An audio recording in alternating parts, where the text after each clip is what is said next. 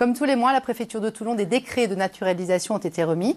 La cérémonie s'est déroulée cet après-midi. Elle marque solennellement l'accession à la nationalité française. Et nous allons remettre ensemble le dossier à M. Belguit Hamdi.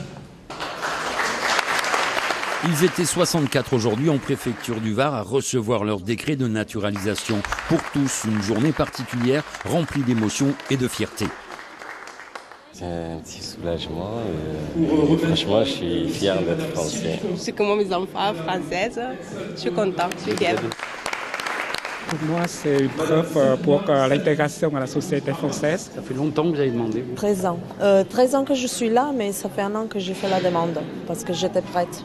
Une démarche volontaire, exigeante, particulièrement sur le plan administratif. Je comprends avec euh, tous les abus qu'il y a eu, qu'il y ait autant de, de, restrictions, autant de démarches pour, euh, pour prouver que tous les papiers qu'on donne sont dans la légalité. Car entrer dans la nationalité française, c'est épouser les valeurs du pacte républicain. Défendez ce socle de valeurs lorsqu'il est critiqué.